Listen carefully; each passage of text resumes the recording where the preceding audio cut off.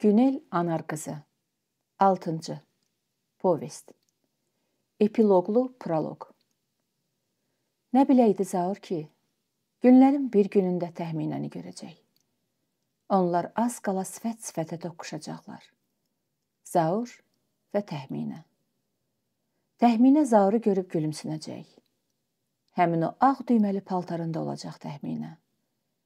Həmin o 30 il bundan qabaqki paltarında və belə məlum olacaq ki, vaxtın təxminəyə heç bir dəxli yoxdur. Heç dəyişməyib təxminənin nə sifəti, nə bədəni, nə yaşı. 30 il əvvəlki təkin gülümsünəcək Zaura. Və Zaur da dili dodağı titriyə-titriyə təxminənin adını çəkəcək. Amma adını çəkən kimi təxminə çevriləcək. Küçədəki adamlara qarışıb itəcəkdi. Bir az sonra Zaur onu metronun qabağında görəcək. Dalıca qaçacaqdı və yenidən görəcəkdi təxminənin qırmızı paltarını metro vaqonunun içində. Qapıları bağlanmış, hərəkətə gəlmiş qatarın pəncərəsindən təxminə ona əl eləyəcək, gülümsünəcək və Zaur o biri qatara minib dalınca gedəcəkdi. Daha təxminəyə çatacağına ümidi olmayacaq. Amma gələn dayanacaqlarda metrodan düşəcək bütün perronu ələk-vələk edəcək. Eskalatorla yer üzünə çıxacaq. Küçədə ora-bura döyükəcək və nəhayət bir daha görəcəkdi onu. Yeni tikilmiş binaya girən vaxt görəcək. Dalıca ora qaçacaq və görəcək ki, elə bu dəm təxminə liftin içinə girdi. Zaur liftin qapısına tərəf atılacaq. Amma qapılar bu vaxt bağlanacaq. Zaur divardakı işıq tablosuna baxacaq. Tabloda liftin hərəkəti görünəcək. Mərtəbələrin rəqəmləri bir-birini təqib edəcək. 2 3 4 5 6 Lift 6-cı mərtəbəyə çatıb dayanacaqdı. Zaur düyməni basacaq və lift yenidən 1-ci mərtəbəyə qayıdacaq. Tabut kimi ağır və əzəmətlə gələcək Zaurun qabağına. Qapılar açılacaq.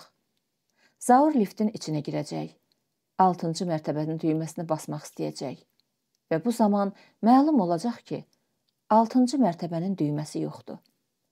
Çünki heç 6-cı mərtəbənin özü də yoxdur. Ev 5 mərtəbəlidir. Çöldəki işıq tablosunda da yox imiş 6-cı mərtəbə. Zaurun gözünə görünürmüş bu rəqəm. Zaur and içə bilərdi ki, lift məhz 6-cı mərtəbəyə qalxmışdı. Hər halda 5-ci mərtəbəyə qalxacaqdı Zaur. Növbətçini sorğu-suala tutacaqdı. Növbətçi də deyəcəkdi ki, heç bir qırmızı paltarlı qadın görüb eləməyib. Zaur bütün mərtəbəni gəzəcək, axtaracaq. Sonra isə yanğın nərdivanı ilə dama çıxacaqdı. Damda isə gözəl may gecəsindən, ulduzla dolu səmadan, eşqbazlıq edən pişiklərdən başqa heç nə və heç kim yox idi. Təzəcə basılmış qırın iyi gəlirdi və salam. Bu qəribə və izahsız vaqiədən başqa Zaurun həyatında ömrü boyu heç bir əcaib, qəribə, anlaşılmaz hadisə olmamış və olmayacaqdı. İşi, ailəsi, uşaqları, dostları, tanış və qeyri-tanış adamlar vardı Zaurun həyatında. Onlar doğulurdu, ölürdü. Və bir də qəbristanlıq vardı. Bu qəbristanlıqda qərib bir məzar vardı və məzarın üstündə təxminənin adı, famili və 1941, 1966 rəqəmləri yazılmışdı. Manafın, Muxtarın və Mədinənin ölümündən sonra daha bu qəbrin üstünə heç kəs gəlmirdi. Anar 5 mərtəbəli evin 6-cı mərtəbəsi romanından. Nə biləydi Zaur ki, bir gündə gələcək və Mədinənin övladı təxminə ölərkən 6 yaşı təzəcə tamam olmuş balaca oğlan uşağı. Bu günümüzdə isə 50-sini xırdalamış müstəqil ailə başçısı. Rəhmətlik anası Mədinənin vəsiyyətinə əməl edərək ondan yadigar qalmış qara meşin, küncləri sürtülüb getmiş balaca sandıqçanı 25 yaşlı qızı təxminiyə ad günündə hədiyyə edəcəkdi. Nə biləydi Zaur ki, illərlə ağzı kilidli qalan bu sandıqçanın qapağını qarlı fevral gecəsində təxminə adlı, amma Zaura tamamilə yad, uzun barmaqlı başqa bir qadın ehtiyatla qaldıracaq.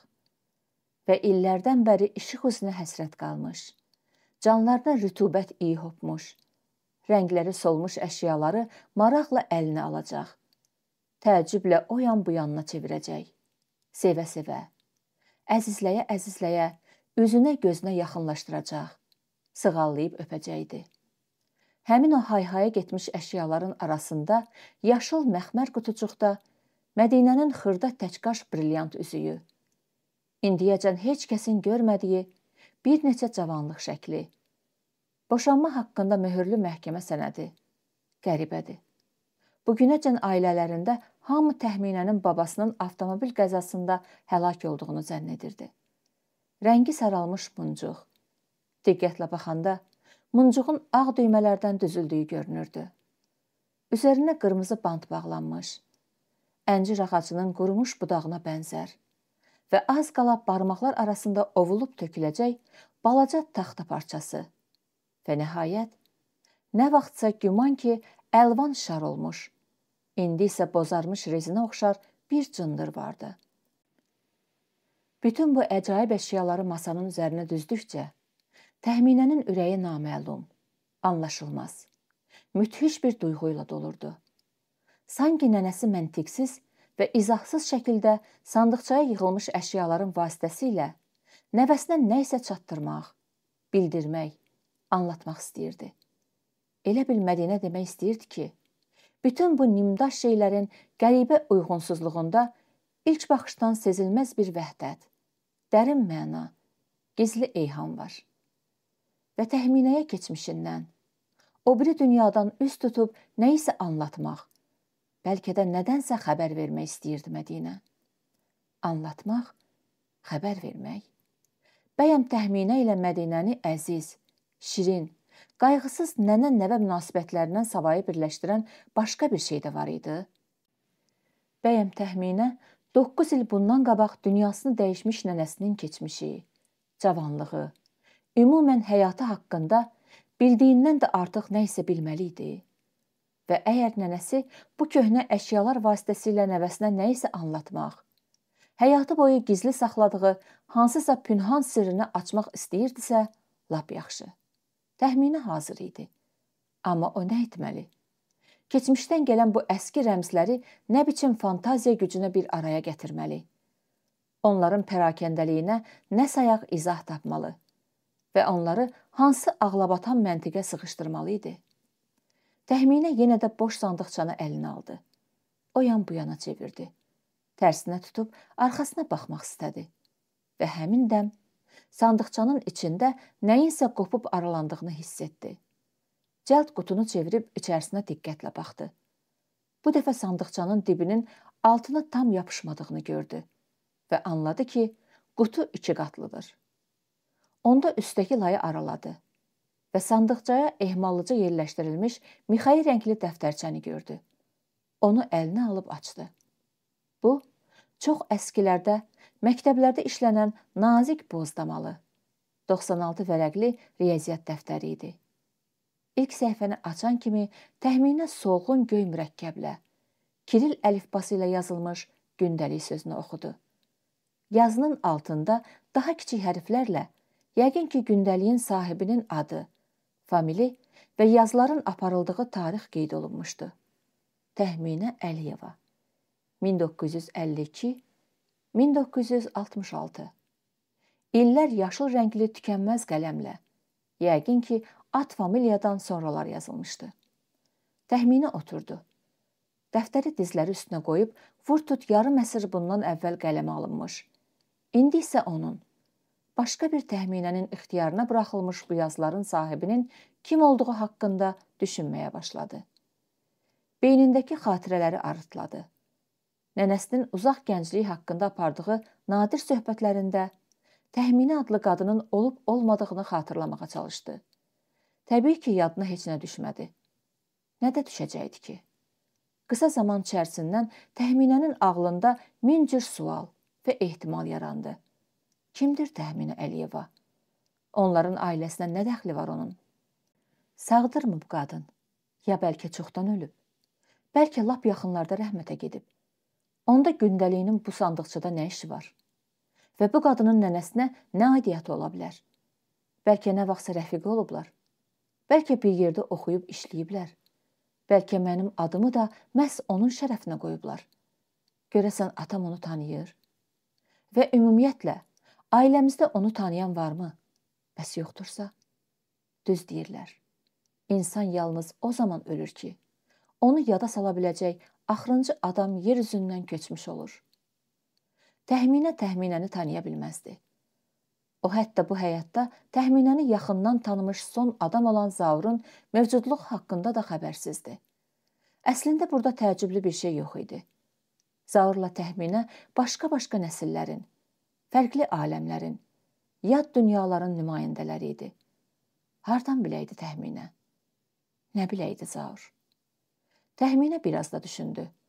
Sonra səhifəni çevirib çalışqan şagird xətti ilə yazılmış sətirləri oxumağa başladı. 2 iyul 1952-ci il. Mən Təxminə Tahir qızı Əliyeva bu gün, yəni 1952-ci il iyulun 2-si gündəlik yazmağa başlayıram.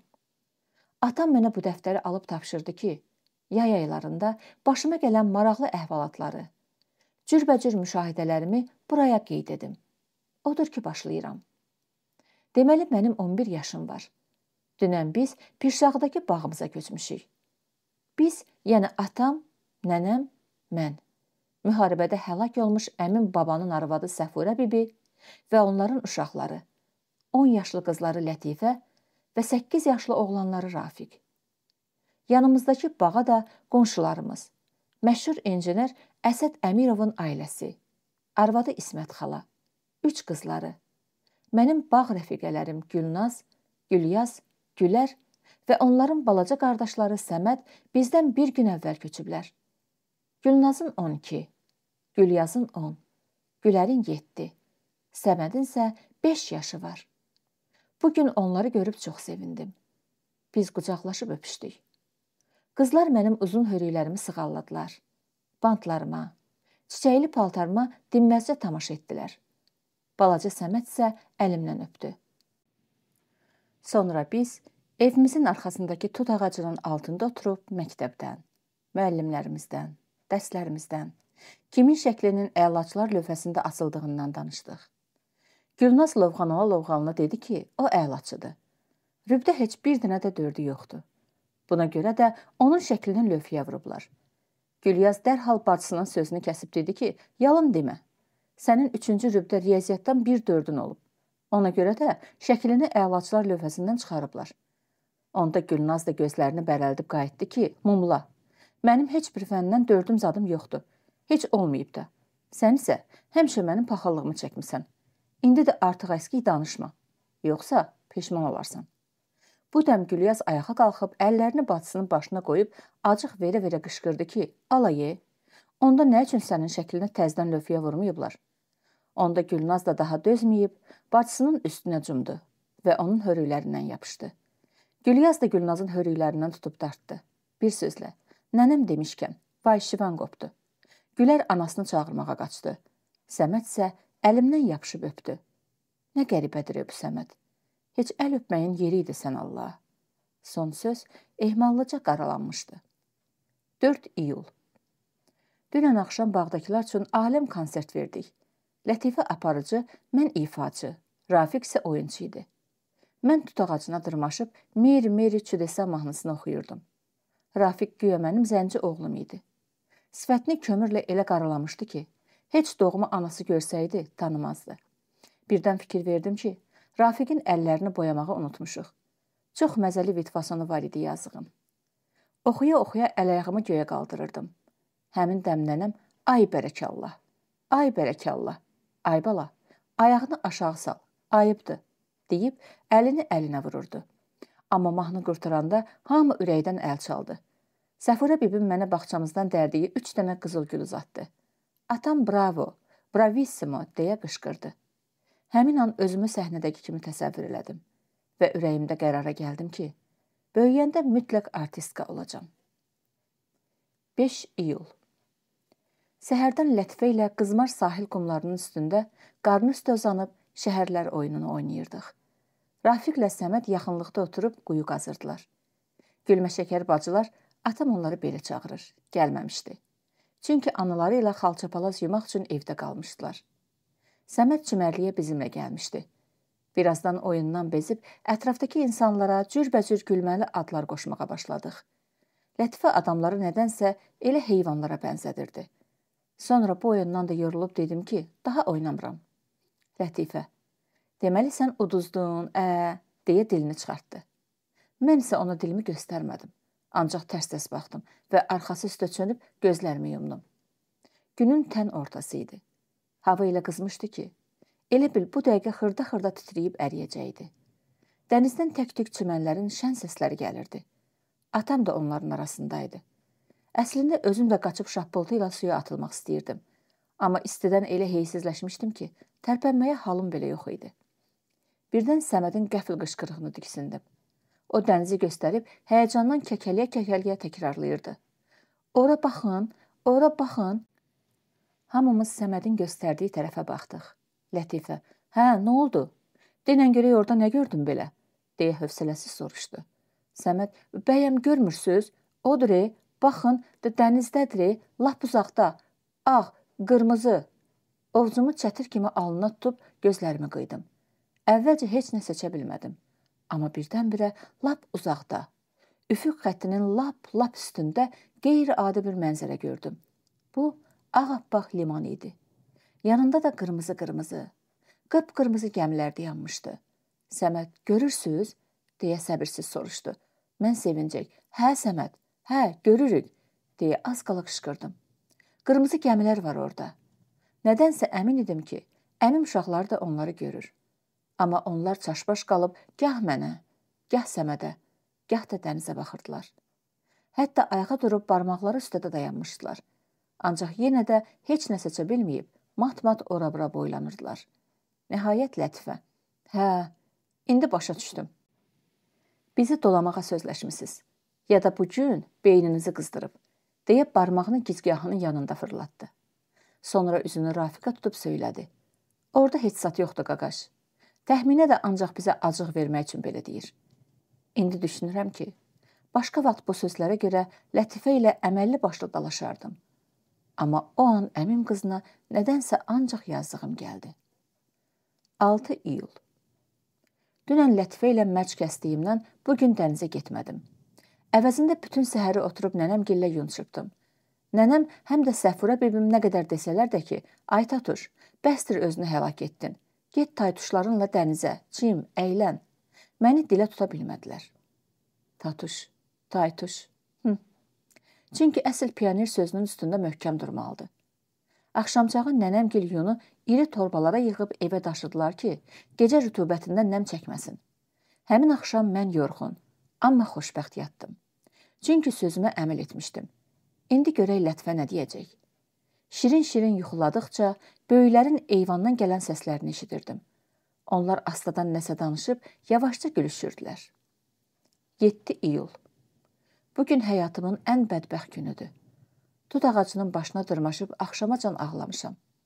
Atam şəhərə getdiyindən bu andıra qalmış bağda məni itirib axtaran bircə adam tapılmadı. Axı kimin nəyinə lazımam mən? Ata-anasız yetimçə bala. Yazdıq Tatuş. Biçarə qızcığaz. Lap elə ağacdan kəlləmayallaq olub şappıltı ilə yerə yıxılsaydım, heç kəsin vecinə də olmazdı. Eh, Lətifədən də ki, lap zəhləm gedir. Görüm əli qurusun. Sirk filmindəki artistkanın mənə vəd etdiyi şəklini verməyəndə. İnsanlar necə də yalançı olurmuşlar ilahi. Son söz yenə də üstündən yağlı, çəpəki xətlər çəkilib pozulmuşdu. 8 iyul. Hər bazar olduğu kimi Bu gün də saat 2-də atam həsir kreslosuna əyləşib radio cihazın düyməsini o yan bu yana fırlatdı. Axtardığı dalğanı tutdu və gözlərini yumub Gülnazın sözü olmasın, çorta getdi. Bilirdim ki, bu saatda radioda muğamat konserti verirlər. Odur ki, atamın qucağında ehmallıca yerləşib başımı sinəsinə qoydum. Gözlərimi yumub sevimli anamı təsəvvür eləməyə başladım. Anam ağappaq paltarda bizə qonaq gəlmişdi. Saçları səliqə ilə arxaya daranıb burulmuşdu. Əlində böyük bir sini vardı.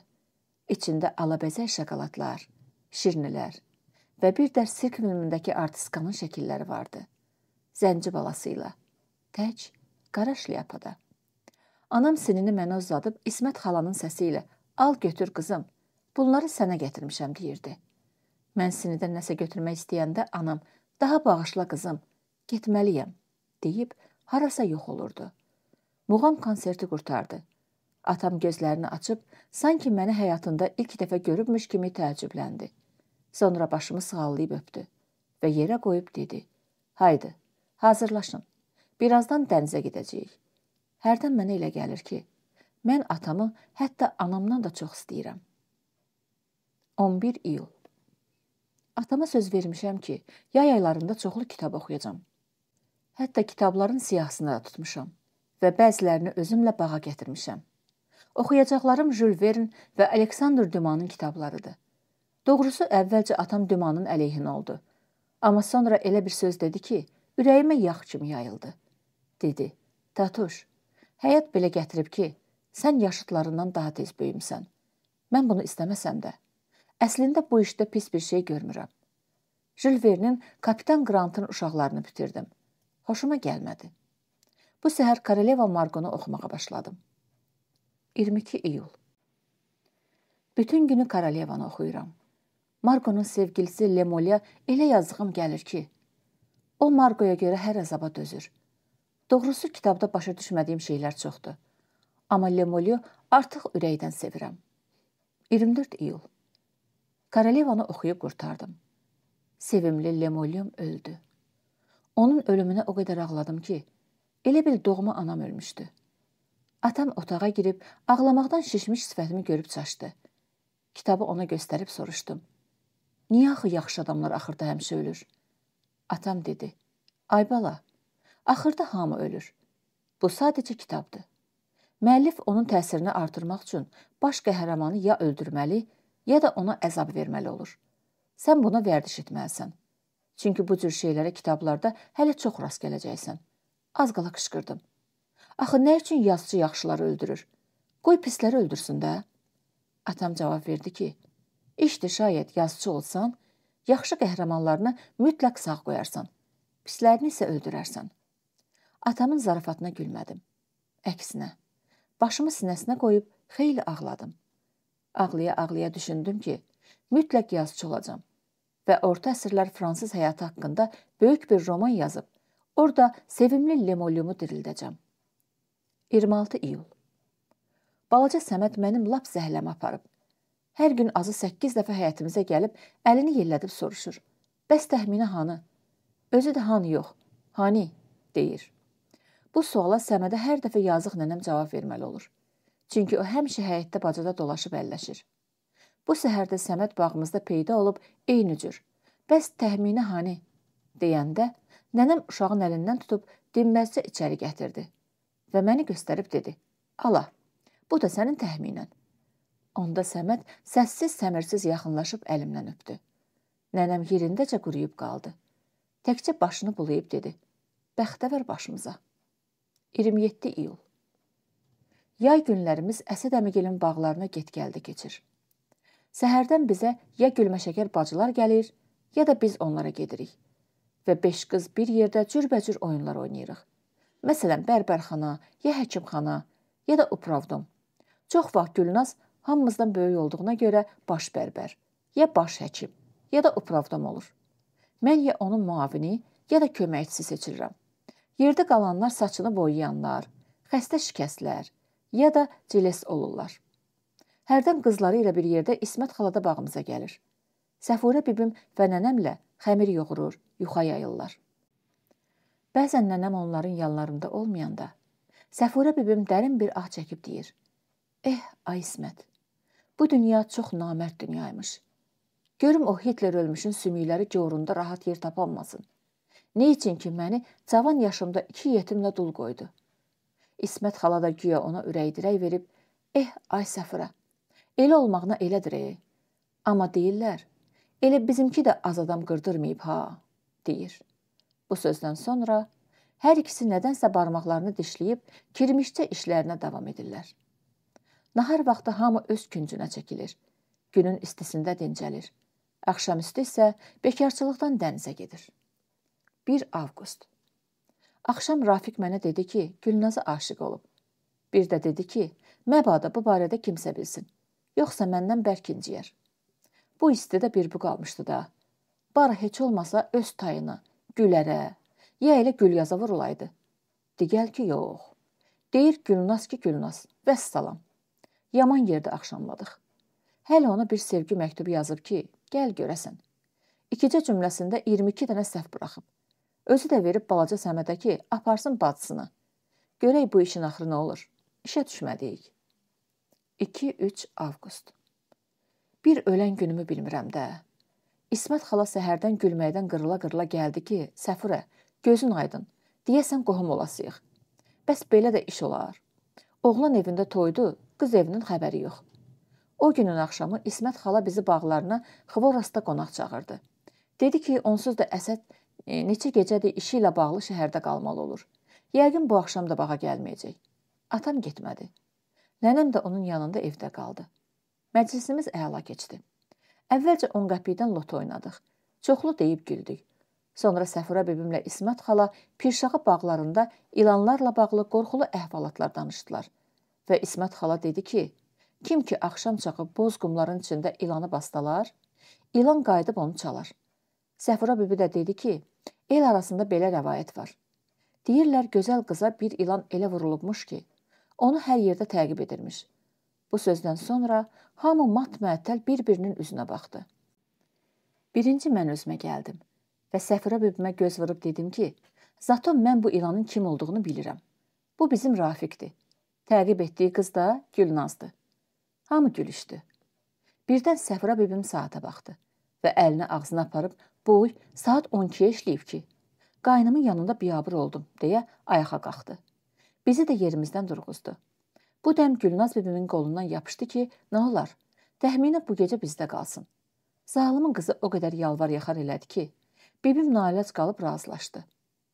Əslində dünənəcən Gülnazla mən ən yaxın rəfiqə idik. Bir-birimizə elə gizli sirlərimizi açırdıq ki, onları daha heç kəsə danışmaq olmazdı. Həmin gecə Gülnazgilin külafı rəngisində hərə öz müçətkən evciyində gizlənmişdi. Mən Gülnaza anamdan danışırdım. Onu hər gecə yuxuda ağ paltarlı, al-qırmızı lalələrlə dolu olan düzənlikdə gördüyümü təsvir eləyirdim. Anamın dediyi "Təxminə, qızım, gəl yanıma. Məni tək qoyma" sözlərini pıçıldayırdım. Əvvəlcə Gülnaz dinməzcə qulaq asırdı. Sonra birdən uzatdı. Hə, bilirsən təxminə. Nənəm də yuxusunda ölən babamı görəndə deyərdi ki, gərək səhər rəhmətliyin qəbri üstünə gedim. Yaxşısı budur, sən də anavı ziyarət elə. Əvvəlcə Gülnazın başından böyük söhbətlər elədiyini düşündüm. Amma qəfildən hər şeyi anlayıb qışqırdım. Yalançının biri yalançı. Nə demək istəyirsən? Yəni mənim cavan, gözəl göyçək anam da sənin o qoca kaftar baban kimi ölüb? Heç bilirsən ki, cavan adamlar ölmür, ancaq qocalar ölə bilir? Bu sözə Gülnaz heç nə cavab vermədi. Elə bil yuxulamışdı. Nə vaxtdan nə vaxta şirin-şirin əsnədi və vecsizcəsinə uzatdı. Yalançı mən yox, sənsən. Ölməyibsə onda hanı sənin anan? Yuxularındakı o qadın da anan zadın deyil. Onun ruhudur. Həmin dəqiqə külafirənginin o biri başından İsmət xalanın səsi eşidildi. Ay qızlar, bəs də qeybətləşdiniz. Gecədir day, qoyun yataq. Siz də adam balası kimi yıxılın yatın. Ay hay, yıxılın yatın. İlan sancmış kimi dik atıldım. Miçətkənimi qaldırıb yerimdən sıçradım və taxta pilləkənlərlə üzü aşağı qaçdım. Dalca Gülnazın, arxasıca da İsmət xalanın səsləri gəldi. Ay qız təxminə, qayıt. Ay bala, gecə vaxtı hara belə? Birazdan onlara yuxudan qəfil oyanmış balaca Səmədin zırıldaması da qoşuldu. Təxminə hanı? Təxminə hanı? Səmədin içini çəkib acı-acı ağlaması ürəyimi parçalayırdı. Amma geriyə yol yox idi. Mən meynəliklərin arası, soyuq nəm qumların üstü ilə öz bağımıza qaçırdım. Hərdən bir ay işığında hansısa qurumuş üzüm budağını donub qalmış ilan bilir, yavaşca qışqırıb dala çəkilirdim. Həmin gecə Əsəd əmigilin bağı ilə bizim bağ arasındakı meynəlik mənə elə qorxulu, elə ucsuz bucaqsız göründü ki, onda ən böyük arzum anama qovuşmaq yox, eyvanımıza işıq saçan elektrik çırağına çatmaq idi. Bağımıza necə gəldiyimi xatırlamıram. Bir onu bildim ki, miçətkəni aralayıb yatağıma atıldım və qaranlıq bir quyuya düşdüm. 4 avqust. Bilmədim nədən oldu. Amma bu səhər hamıdan gec oyandım.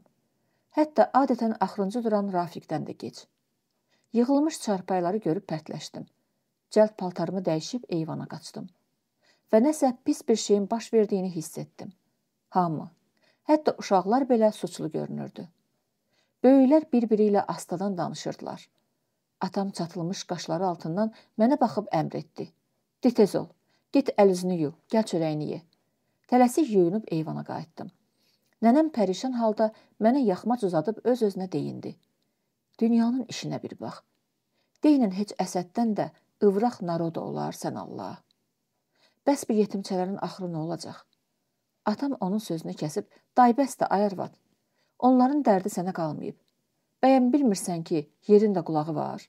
dedi və əlindəki qəzetə zilləndi. Yaxmac əlimdə, loxuma ağzımda. Elə belə quruyub qaldım. Bu gün biz nə dənizə, nə Əsəd əmigilin bağına getdik. Onlar da bizə gəlmədilər.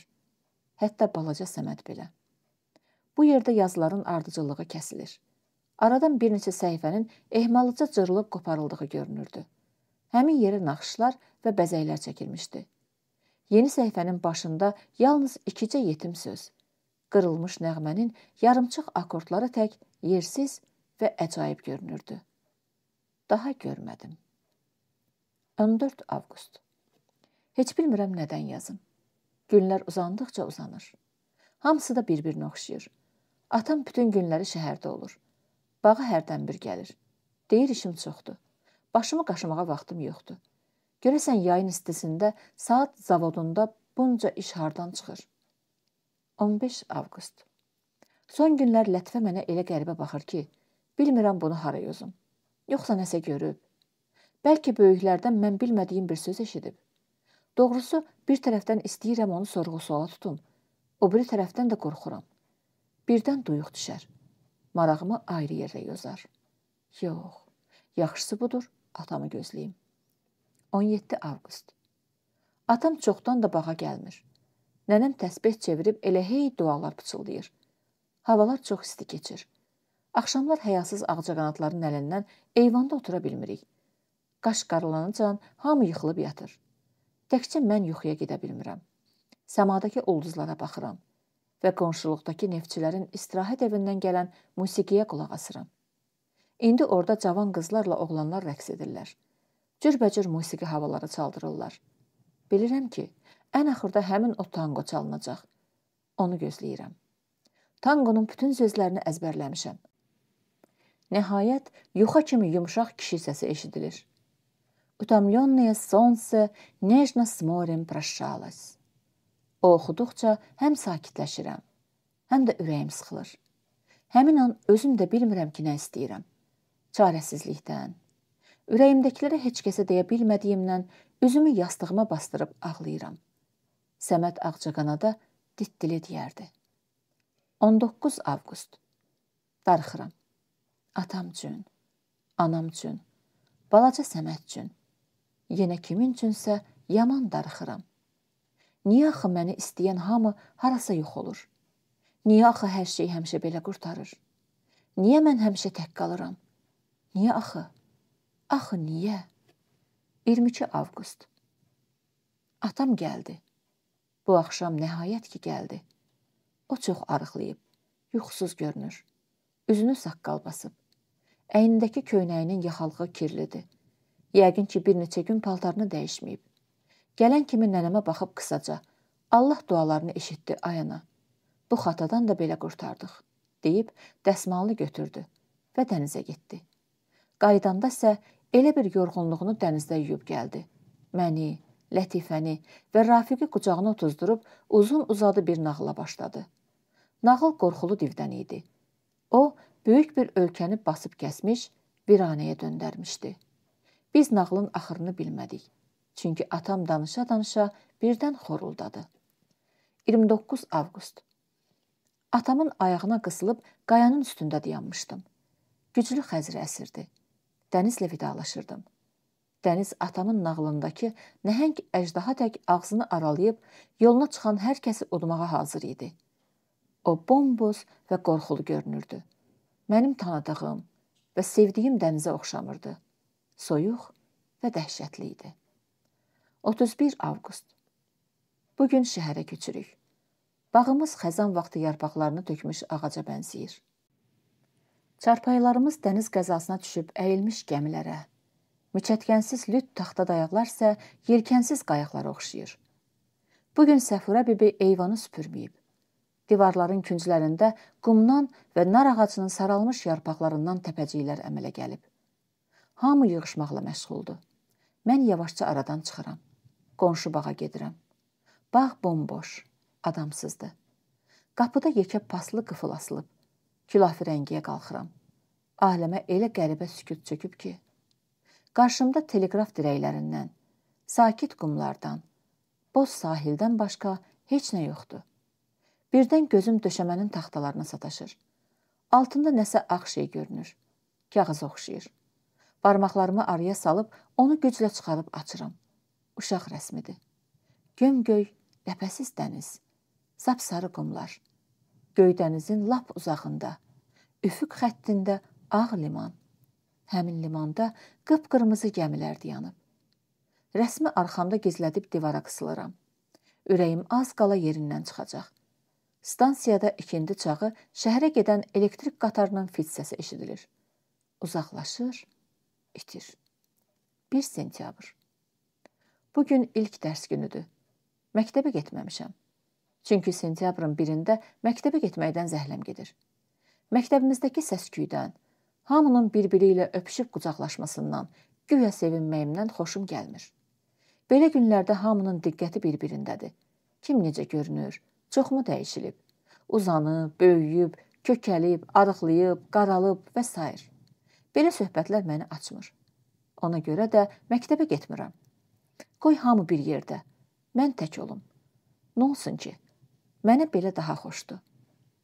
2 sentyabr Bu gün məktəbə getdim. Müəllimələr və sinif yoldaşlarımla öpüşüb qucaqlaşdım. Hamı ətrafıma yığılıb böyüyüb qəşəngləşdiyimi dedi. Doğrusu bu sözləri çox da vecimə almadım. Amma qızların mənə görə pıçıldaşdığını görüb razı-razı gülümsədim. Gözüm elə hey ən yaxın rəfiqəm Zərifəni axtarırdı.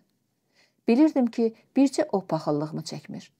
Birazdan məlum oldu ki, Zərifə daha bizim məktəbdə oxumur. Mənimlə bir partada oturan xəbərçi Xədicə qulağıma pıçıldadı ki, Zərifənin atası vraq narodlardandır. Sonra da bir püf eləyib bəyan elədi ki, Zərifədən elə əvvəldən gözü su içmirdi. Nədənsə keçən il Xədicənin Zərifənin yoxlama dəftərindən məsələlərin cavabını köçürdüyünü yadıma düşdü. Heç nə cavab vermədim. Amma bundan sonra Xədicədən lap zəhləm getdi. 7 noyabr. Bayramdır atamla nümayişə getmişdim. Rəhbərlərimiz dayanan tribunanın yanından keçirdim. Onlara əl eləyib salamladım. Onlar da mənə baxıb gülümsədilər. Əl elədilər. Elə bəxtəvərəm ki, hisslərimi ifadə etməyə söz tapa bilmirəm. 30 dekabr. Sabah yeni il gecəsidir. Əmim uşaqları bizə gəlib. Birazdan yolka bəzəyəcəyik. Bayaq köhnə qəzet kağızlarından cürbəcür oyuncaqlar düzəldirdik. Gəmi, təyyarə, ulduz. Sonra onları rənglədik. Oyuncaqları rəngləyəndə gördüm ki, Lətifə Rafiqin kəsib dovradığı qəzdi əlindən qapıb gizlətdi. Sonra da oğrun-oğrun mənə baxdı. Mən qəzetdə kimin şəklinin olduğunu və Rafiqin onun burnunu kəsdiyini Lətifədən də qabaq görmüşdüm. Nə olsun? Heç özümü o yerə qoymadım ki. Kaş heç olmasa Rafiq bacısı kimi qorxaq olmayaydı. Ura! Sabah nənə boranı aşı bişirəcək. 15 yanvar 1953-cü il. Ad günümə 47 gün qalıb. Görəsən atam ad günümdə mənə nə bağışlayacaq? 3 fevral 53-cü il. 29 gün. Deyəsən axı iki təkərli velosiped, yoxsa uf, hövsələsizlikdən partlayacağam. 10 fevral 53-cü il. Eh, bu səhər təsadüfən nənəmlə atamın mətbəxdəki söhbətlərini eşitdim.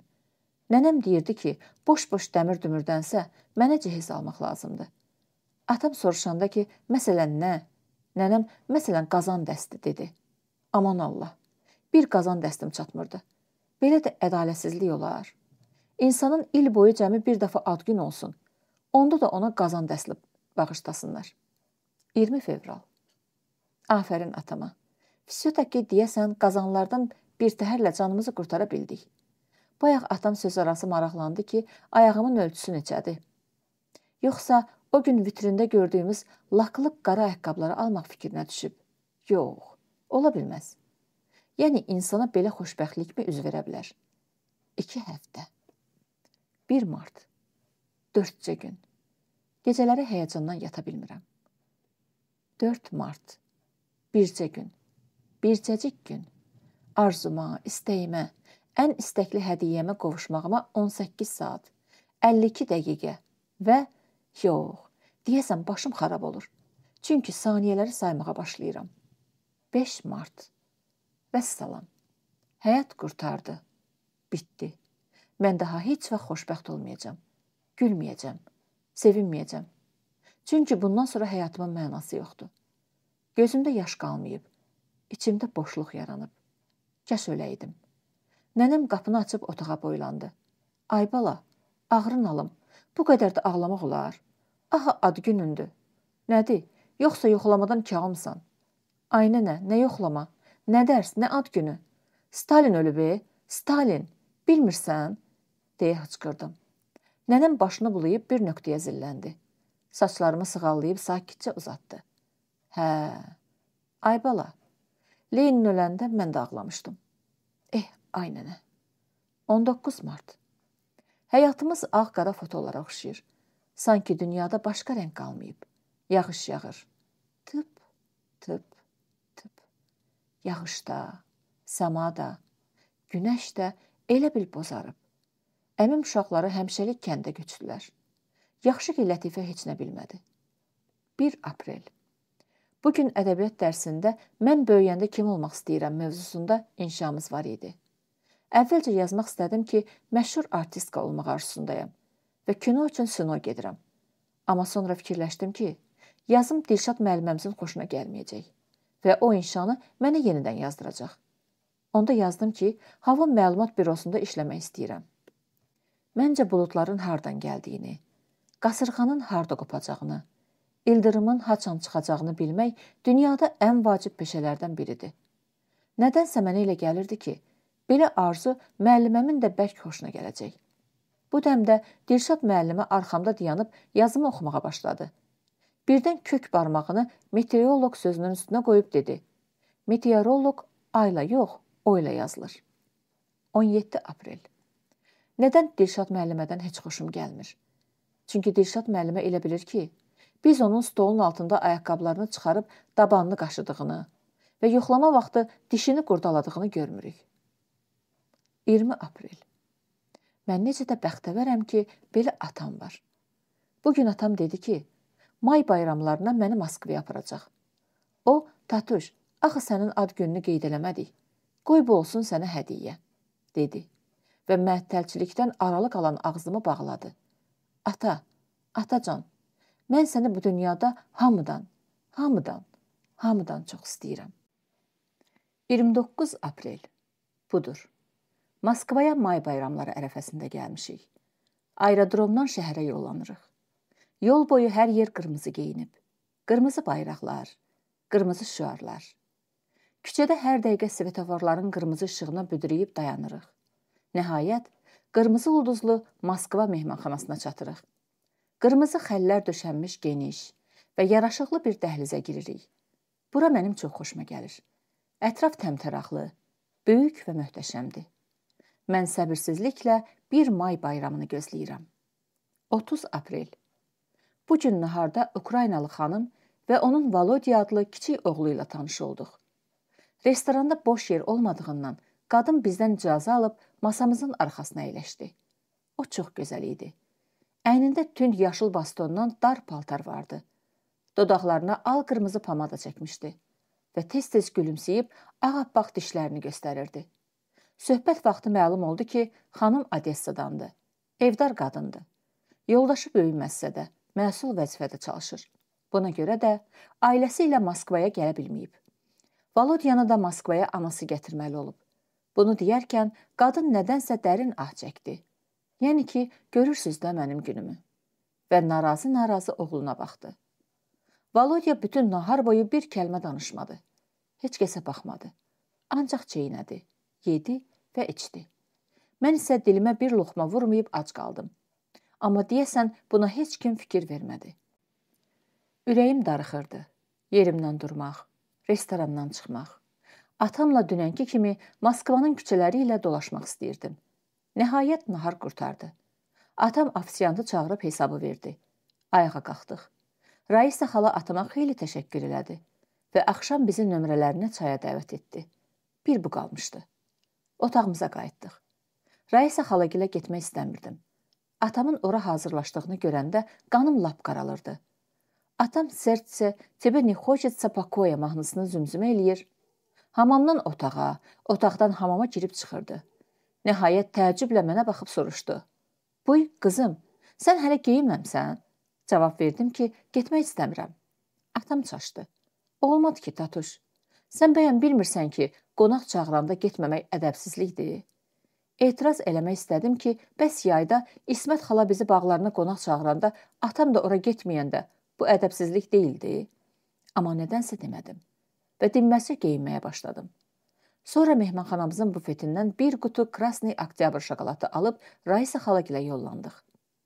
Raisa xalagilin nömrəsi bizimkindən geniş və yaraşıqlı görünürdü. İki otağı, eyvanı, və hətta pianinosu vardı. Balaca ağ süfrəli stolun üstünə çəhrayı tort, meyvə, limonad və bizim gətirdiyimiz şokolad qutusundan qoyulmuşdu. Atamın pencəyinin ətəyindən dartıb gözümlə qutuya işarə elədim ki, gərək heç şokolad almayaydıq. Atam özünü görməməzliyə vurub başımı sığalladı. Böyüklər havadan, kinodan, məşhur artistlərdən söhbət etdilər. Valodiya divanda oturub burnunu qurdalayırdı. Mən dinməzcə Raisa xalanın hərəkətlərinə tamaşa edir, onun süzdüyü köpüklü buz kimi limonaddan içirdim. Birdən Raisa xala əlini əlinə vurub şən səslə: "Volodya, bəs qonağına Detski Mir dükanından aldığımız oyuncaqlarını göstərmək istəmirsən?" deyə soruşdu. Volodya mal kimi anasına baxdı və heç nə cavab vermədi. Onda Raisa xala əlimdən tutub məni o biri otağa dartdı. Burada açıq pəncərənin ağzında şəffaf bankada çəhrayı və qırmızı rəngli uzun saplaqlı qladioluslar var idi. Raisa xala oğluna tapşırdı ki, konstruktorunu açsın. Valodiya qaşqabağını salladı. Anası dinməzcə ona bir qapaz ilişdirdi. Sonra mənə baxıb gülümsədi. "Buyur, oynaya bilərsən." deyə icazə verdi və otaqdan çıxıb ehmallıca qapını bağladı. Valodiya kirmişcə anasının arxasıca baxdı. Sonra konstruktorun hissələrini qutudan çıxarıb bir-bir pəncərədən küçəyə tulladı. Birazdan qonşu otaqdan piano səsləri eşidildi. Raisa xala cürbəcür mahnılar oxuyurdu. Məşhur Bessamo Mucho tangosu çalınanda atam da oxudu. Bilirdim ki, onun bu havadan çox xoşu gəlir. Birdən pianinonun səsi kəsildi və daha heç bir səs eşidilmədi. Hava qaralırdı. Pəncərədən döşəməyə xət-xət düşən narıncı şüalar yavaş-yavaş çəkilirdi. Mən ayaq yolma istəyirdim, amma otaqdan çıxmağa qorxurdum.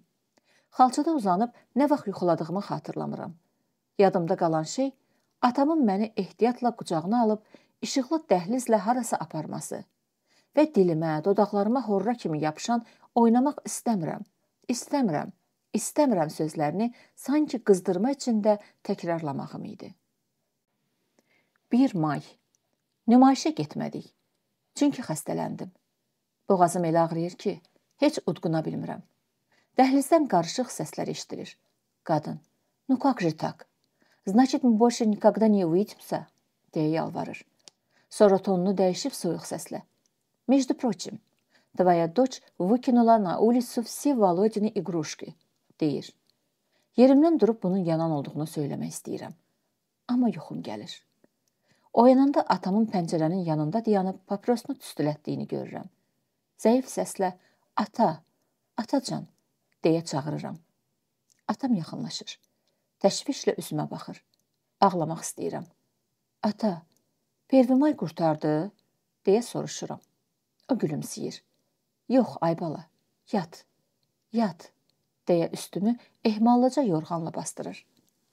5 may. Hər yan yaşıl geyinib.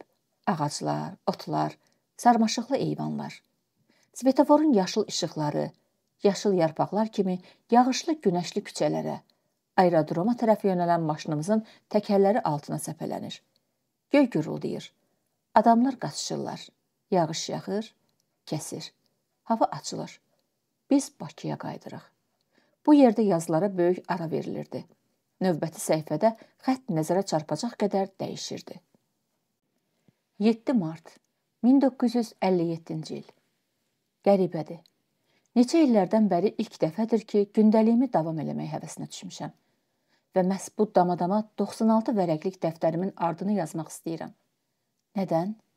Çünki o vaxt yazdığım və bir qırağa atdığım gündəliyimdəki yazıları təzədən oxuyub utandım.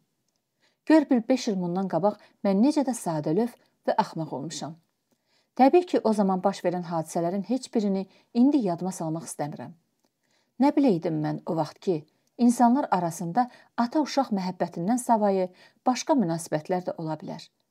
Nə biləydim ki, gün gələcək və onda yazdıqlarım indi mənə belə boş, gülünc və mənasız görünəcəkdi. Doğrusu əvvəlcə istədim bütün yazdıqlarımı cırıb atam. Amma sonra nədənsə heyfim gəldi. Qoy qalsın deyə fikirləşdim. Vaxt necə də tez uçur. Hadisələr necə də becid cərəyan edir. Bu ay mənim 16 yaşım tamam oldu. 16. Bu il məktəbi bitirib instituta daxil olacağam. Tələbə adını qazanacağam. Yeni həyata başlayıb yeni dostlarla rastlaşacağam. Hər şey dəyişəcək. Hər şey tamam başqa cür olacaq. Ondan başqa hər şey. 9 mart. O vəd etdiyi kimi saat 3 tamamda zəng vurdu. Bütün günün zəngini gözləsəm də, telefonun səsinə dik atıldım. Hövsələmi basa bilməyib o dəqiqə dəstəyi qaldırdım. Salam, salam. Ürəyim güp eləyib yerə düşdü. Təxminədir? Bəli. Səsini tanımadım. Telefonda tamam başqa cürdü. Necədir ki? Nə bilim. Elə bir söz axtarır. Tapa bilmirdi. Nəhayət daha dolğun, daha həyəcanlandırıcı, sanki başqa qadının səsidir dedi. Qadının. İlahi, ürəyim az qala yerindən çıxacaqdı. Axşama planlarınız nədir? Planlarım ha. Güya mənim sərgidə onunla ilk dəfə görüşdüyümüzdən bəri ondan başqa planım ola bilərdi. Heç, yəqin ki, evdə olacam, dedim. Sonra biraz fikirləşib əlavə etdim. Bəlkə rəfiqə Maya ilə kinoya getdik. Aa, deyə uzatdı. Onda səni rəfiqəm Mayadan ayırmayım. O mənə gah sən, gah da siz deyirdi. Yox, yox, deyə sözünü kəsdim. Deyəsən çox tələsik alındı. Tutuldum, sustum. O da danışmırdı.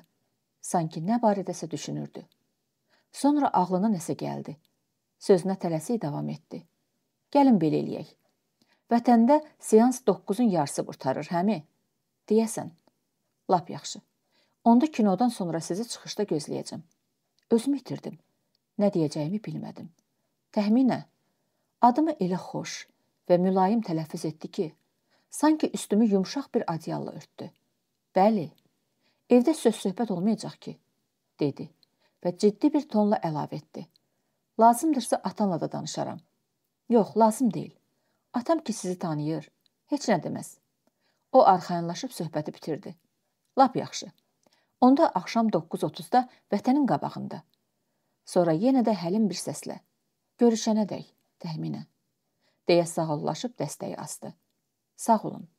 Telefon dəstəyi əlimdə, qarşımdakı aynaya baxdım. Üzüm elə pörtmüşdü ki, çıtma vursan qan damardı. 10 mart. Axı nə üçün mən belə eybəcərəm ilahi? İnsanın da bu boyda ağzı olar. Güləndə lap aranqutan oxşayıram. Dişlər də ki, maşallah. Elə bil mənim bütün normal insanlarda olduğu kimi 32 yox, 72 dişim var. Çarəm nədir? Gərək çalışım ki, az güləm. Saçlarımı da daha hörməməliyəm. Yoxsa lap yeniyetmə qızlara oxşayıram. Bircə bantlarım çatışmır. İnstitutda girən kimi saçımı lap qısa, oğlan sayağı kəstirəcəm. İndi belə moddur. Bu gün də gərək Mayadan o gümüşü hündürdaman ladıçqalarını götürəm. Mənim ağ paltarıma yaraşar. Amma onda anamın qızıl saatını gərək çıxaram. Gümüşlə qızıl yaraşmır. Saat məsələsini atam bilməməlidir. Axı ona söz vermişəm ki, saatı qolumdan çıxarmayacağam. Neynək? Krasata trebuyet jertv. 13 mart. Atam necə də staramodundur, aman Allah. Deyir, mən xanın bircə dənə seyigahını, sənin o sino getdiyin 1000 dənə taqqaturuklu müasir havanı dəyişmərəm. Onun üstündə bu gün əməlli başlı sporumuz oldu. Etiraz əlaməti olaraq nahar eləmədim. Hamamda bağlanıb güzgü qarşısında axşamacan Lalita Torresin mahnılarını oxudum. 16 mart. Bəlkə o kimin üçünsə adi adamdır. Amma mənim üçün bütöv bir aləmdir. Canım mənim. Mən səni sənin bu cür olduğuna görə yox, sənin yanında özümün bu cür olduğuma görə çox istəyirəm. Sən mənə məni kəşf etdin. Özümün özüm haqqında heç zaman bilməyəcəyim həqiqətləri tapıb aşkarladın. Sən məni mən elədin. Çünki indiyəcən mən özümü yalnız nöqsanlardan və mənfi cəhətlərdən ibarət məxluq kimi qəbul eləyirdim. Özümdən, hərəkətlərimdən, hətta xatirələrimdən belə utanırdım. Amma sənə rast gələndən sonra həyatımda çox şey dəyişib və söhbət təkcə xarici dəyişikliklərdən getmir. Halbuki onların da öz yeri var. Məsələ mənim daha sərbəst, arxayın, hətta özümdən, həyatımdan razı olmağımdadır. Bunu sənəcən heç kim eləyə bilməmişdi. Hətta qibtə elədiyim atam belə. Özünü başqa adamın simasında tapmaq necə də xoş bir duyğu imiş demə. 17 mart. Görəsən Allah necə olur? Bu sualı sağ olsaydı nənəmə verərdim. Yəqin ki, yazıq arvad cavabında "Əstəğfurullah" deyib salavat çevirərdi. Bəs görəsən peyğəmbər necə olur? Zavallı qadın. Axı o hardan biləydi? Peyğəmbər necə olur? Bir adam ki, həyatında peyğəmbəri görməyib, onu necə təsvir eləyə bilər? Bu sarıdan mənim bəxtim gətirib. Mən ona rast gəlmişəm. Yanaşı oturub gözlərinin içinə baxmışam və hətta onunla söhbət də eləmişəm. Dünən axşam o emalatxanasında düz 2 saat mənə öz işindən, peşəsindən, memarlıqdan söhbət açıb yeni layihələrindən danışıb, məşhur rəssamların albomlarını göstərib. Amma mən bütün bunlardan artıq onun özünə tamaşa eləmək, boğuq səsini eşitmək, əllərinin hərarətini duymaq istirdim. Onun əziz qoxusunu ciyərlərimə çəkib məst olmağı arzulayırdım. Onu nə qədər sevdiyimi yəqin ki, özünə heç vaxt deməyəcəm. Niyəsini özüm də bilmirəm. O bunu nə vaxtsa mütləq duyub biləcəkdi. Hər zaman Hər yerdə rastıma çıxan hər bir kəsdə cizgilərini axtarıram. Bir saat, bir dəqiqə, bir saniyə belə fikrimdən çıxmır. Onu hər an görmək, eşitmək, onunla olmaq istəyirəm. Bilirəm ki, bu mümkün deyil. Əslində özü bunu arzulasa, həyatında mənim kimi o qədər sevgilisi ola bilər ki. Axı istedadlıdır. Ona qibtə edənlər də, paxıllığını çəkənlər də çoxdur.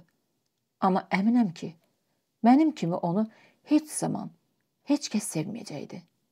O mənim şəhzadəm, peyğəmbərim, Allahımdır. O mən deyəsən dəli oluram axı. 18 mart. Nə yaxşı ki, hər şey başqa cür yox. Məhz bu cürdür. Ciskinli hava, evimizin alatoranlığı, qonşu otaqda dincələn atamın xorultusu, divar saatındakı kəfkirin tənbəl hərəkəti, ürəyimdəki arxayınlıq xoşbəxtlik, bir də intizar. 20 mart. Səməni saxla məni. Hər yaz cücərdərəm səni. Ay hay. Deməli bu gün bayram axşamı imiş. Stolumuzun üstündə isə Allahın səmənsi də yoxdur. Nənəmin yeri necə də görünür. Səfurə bibi kənddən bizə paxlavadan, şəkərburadan pay göndərib. Atamla balaca xonça düzəldib masaya qoymuşuq. 5 dənə şam yandırmışam. İkisini özümüzə, Birin anama, birin nənəmə, birin də ona. Atam soruşanda ki, 5-ci şam kimin üçündür? dedim. Heç, elə belə. Ürəyimdə bir arzu tutmuşam. Şamı da ona görə yandırmışam. Atam məmnun-məmnun gülümsədi. Yəqin elə bildi ki, arzum instituta girməkdir. Eh, ayata. Nə biləsən sən mənim ürəyimdəkiləri? Nə biləsən ki, sənin tatışın çoxdan da balaca, sadəlöv qız deyil. Bayram axşamı ən axırıncı onun şamı söndü. 11 aprel. Bunu yəqin ki, yazmamalıyam. Həyatdır da. Hər şey ola bilər. Bu yazılarda kiminsə əlinə düşə bilər. Amma olanları içimdə saxlasam, ürəyim partlayar. Hər halda kiməsə danışmaqdansa, gündəliyə yazsam daha yaxşıdır. Əlqərəz. Bu gün yenə onun emalxanasında idim. Atam Səfurə bibigilin kəndinə hüzür yerinə getmişdi. Təbii ki, atamın Bakıda olmamasından istifadə etmək fikrində deyildim. Amma həmişəkindən daha rahat və arxayın olduğumu da bilirdim. O da bunu hiss edirdi. Masaya meyvə, konfet və bir şüşə konyak qoymuşdu. Əvvəlcə içmək istəmirdim. Doğrusu o da təkid eləmirdi. İçmək istəmirsən özün bil. Mən ki səni məcbur eləmirəm. Amma udzacaqsan. Əla erməni konyakıdır. Dadına baxsan xoşuna gələcək. Radionu qurdu. Xalq mahnılarından ibarət axşam konserti təzəcə başlamışdı. Rəşid Behbudov küçələrə su səpmişəm havasını oxuyurdu. Mən nimdaş, prujinləri boşalmış, qoltuqları kirdən parıldayan divanda oturmuşdum. O otağın küncündə dayanıb gözlərini qırpmadan mənə baxırdı. Bilmirəm. Bəlkə zəmanədən geridə qalmış görünmək istəmirdim. Bəlkə ona yaşımdan daha təcrübəli, müasir qız təəssüratı bağışlamaq niyyətində idim. Bəlkə də məhz bu axşam nəyinsə baş verəcəyini duyub Özümü bu sayaq toxtadırdım. Konyakdan içdim. Bədənimə dərhal qəribə bir istilik yayıldı. Ağırlaşdım. Həm də özümü bir növ çəkisiz və boşalmış hiss elədim. Bülbül qara tellər mahnısını oxumağa başladı. Gözləri ilə məni sığallayıb fikirli-fikirli uzatdı. Elə bil sənin haqqında oxuyur. Sinəmə, çiyinlərimə tuşlanan baxışını görüb utandım. O gözünü çəkib planşetinə yaxınlaşdı arxasına keçdi. Kağızda iti qələmlə əsəbi hərəkətlərlə nəsə çizməyə başladı. Nə çəkirsiz? Sualım yersiz səsləndi. O, səni, deyə qısaca cavab verdi. Sonra da ərklə əlavə etdi. Tərpənmə. Tərpənmədim. Dəqiqələr uzandıqca uzanır. Mahnılar aramla bir-birinin içinə axıb tükənmək bilmirdi. Gül oğlan, Qaragilə, Amanovçu, sarı gəlin. Pəncərədən daş gəlir. Pəncərədən axşamın qara yaylıq tək səmanın başına çökdüyünü görürdüm. Səma narıncı, sonra bənövşəyi, daha sonra isə tünd göy rəngə boyanırdı. Elə bil səma çay idi. Dəmləndikcə tündləşirdi. Birazdan otaq da qaranlığa qərq oldu. Tədricən qaranlıq aydınlaşdı, duruldu və onda Pəncərənin fonunda bədəninin əziz cizgilərini seçə bildim. Mənə yaxınlaşdı. Saçlarımı sığalladı. Laçın mahnısı səsləndi. Yanıqlı kişi səsi elçiləri qırılmış, özü elçi düşən yar deyə oxudu. Üzünü üzümə yaxınlaşdırıb pıçıltı ilə Elçilərim qırılıb təxminə. Sənə özüm elçi gəlmişəm. Qorxma, dedi. Nədənsə ağladım. Konsert qurtardı. Evəcən ötürdü məni. Dedi ki, indiyəcən həyatında heç kəsi mənim qədər sevməyib. Heç kəslə mənim kimi bəxtiyar olmayıb. Dedi ki, mənsiz yaşaya bilmir. Dedi ki, yaxınlarda ev alacaq. Onda evlənəcəyik. Dedi ki, 9 may. Uşaqları çox sevirəm. Hər halda onda belə deyirdin, deyə ağlamsındım və son titrək ümidimdən yapışdım. Onu da əlimdən alıb düşünmədən qırağa atdı. Qələt eləyirdim təxminə. Başımı 100 min dəfə daşa vururdum əzizim, canım gözüm. Sevmirəm, istəmirəm, yazığam. Ağladı. Ayağıma yıxıldı.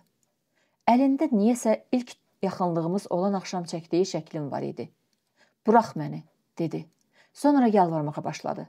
"Bədbəxt eləmə məni təxminə. Rayonda uşaqlarım, ailəm var. Gözlərindəki iki damla yaş şəkildəki gözlərimin içinə düşdü. Böyüdü. yayıldı. Yanaqlarımla aşağı süzüldü.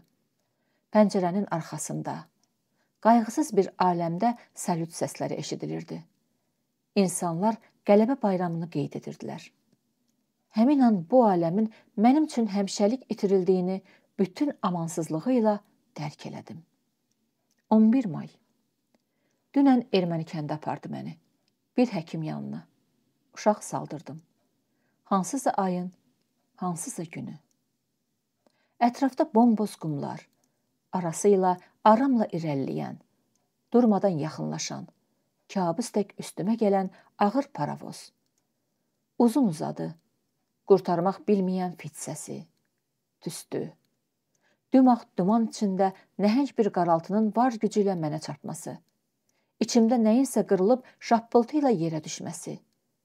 Küt ağrı, bir də sonsuz bir boşluq. Hər zaman yuxudan oyanıb röyalarıma, daha doğrusu onların qəlbimdə yaratdıkları əks-sədaya məhtəl qalıram. Düzdür, oyandığım an yuxularımı çox vaxt unuduram. Amma yenə də gördüklərimin ürəyimdə kök saldığını lap yəqin bilirəm. Bilirəm ki, yuxuda qeyri-adi, gerçək aləmdən kənar, fantastik bir şeylə qarşılaşmışam və həmin şey beynimdə müthiş iz, heç nəyə bənzəməyən hiss buraxıb gedib. Bu hissi nə axıracan anlaya, nə də əməlli başlı izah edə bilirəm. Amma bir də görürsən, yaddaşım qəribə sürpriz hazırlayır mənim üçün. Dəxli olmayan bir məqamda elə aidiyyətsiz və izahsız bir şəkil peyda olur gözlərim qarşısında ki, Özüm də anlaya bilmirəm. Bu hardan çıxdı? Nə sayaq təsadüflər nəticəsində məhz indi həyatımın bu kəsiyində canlandı. Və indi mən nə ilə izah edim bu gözlənilməz metamorfozanı? Və onda həmin o tamamlanmamış şəklimmi deyim, xatirə qırığınmı deyim, yarımçıq yuxununmu deyim, ucundan yapışıb dalınca getmək, onu hara gətirəcəyini bilmək istəyindən qurtula bilmirəm bütün varlığımın, hafizəmin gücünü, diqqətimi toplayıb bir məqsədə yönəldirəm. Yuxumun axırını, məntiqi sonluğunu öyrənmək ya da sadəcə havasını duymaq istəyirəm. Və rebusun həlli variantlarının hansınınsa küncündən tutduğum kimi, xatirəmin də bir ucundan yapışıb yaddaşımın qaranlıqları içində işığa, izaha, cavaba doğru ehtiyatla irəliləyirəm. Asta-asta yavaş-yavaş. Budur bax. Zoğalı güllü yastıq. Narıncı yaşıl butalı yorxan. Otağın küncünə diyirlənmiş bulanıq abqora şüşəsi. Sirkənin tünd qoxusu. Köhnə uşaq şapşapının ətrafında böyüyən qəhvəyi gölməçə. Bir də nə? Yenə də tərs kimi rebusun açarı tapıldığı anda yaddaşım sanki nəyəsə tamamilə lazımsız mətləbə dəxli olmayan kənar bir şeyə ilişir və bütün səylərim nazik şüşə tək qırılıb çilik-çilik olur. Onda anlayıram ki, hafizəm bu kəsdə yuxumu yaxalaya bilmədi. Yuxum bu dəfə də çevik balıq kimi sürüşüb beynimin ucsuz bucaqsız dəryasında bəlkə də həmişəlik qeyb oldu. 60-cı ilin bir payız axşamı. Budur. Yenə də itirilmiş gündəliyimi əlimə alıb itirilmiş günlərimin ardıcıllığını bərpa etməyə çalışıram. Yazıram, yazıram. Özüm də bilmirəm ki, nə yazıram. Yadımdadır. Bir dəfə atam kim haqqındasa demişdi ki, bu elə insandır ki, təmiz qalan yalnız adıdır. Aman günüdür. Birdən adım ləkələnər. Bunun olmaması üçün zalım oğlu o qədər dəridən qabıqdan çıxır ki, hərdən adamın ona lap yazığı gəlir. Onda mən də maraqlandım ki, ay ata, bəs axı bu adam düşünmür ki, nəyə lazımdır bu sayaq riyakarlıq, yalan, ikiyüzlülük? Bəyəm o anlamır ki, gec-tez bir gün gələcək və Allah onu cəzalandıracaq. İnsanlar onun nə qədər gülünc və yazıq olduğunu görəcəklər. Atam gülümsünüb cavab verdi ki, elədi. Amma axı o adam özü haqqında belə düşünmür. Heç ömründə eşitmisən ki, əclaf əclaflığını boynuna alsın? Dedim, yaxşı. Bəs onda başqaları niyə susur və bu əclafları ifşa etmir? Atam, yəqin onlar da fikirləşir, onsuz da biz ki dünyanı dəyişdirən deyilik. Lap elə tutalım aşkar etdik namərdi. Buna görə atdıq özümüzü oda, alova. Şairin sözü olmasın, alışıb yandıq və bəzi qaranlıq mətləblərə işıq saçdıq. Ətrafımızdakı 3-4 nəfərin göz qulağını açdıq. Nə olsun ki? Sonra yanıb külə dönən, havaya sovrulan, arada bada gedən heç kim yox, özümüz olacağıq axı. Belə halda nədən hamı kimi dinib danışmayaq? Daha etibarlı yol seçib arxayın oturmayaq. Bu sözlərdən sonra fikrə getdim. Həmin an sanki bir dəli şeytan məni fitlədi ki, danış başına gələnləri atana. Gör o nə eləyəcək hər şeyi biləndən sonra. Bəlkə sənə bir şilə çəkəcək. Evdən qovacaq. Daha mənim bu adda qızım yoxdur deyəcək. Ya da əksinə. Bəlkə sənə çıxış yolu göstərəcək.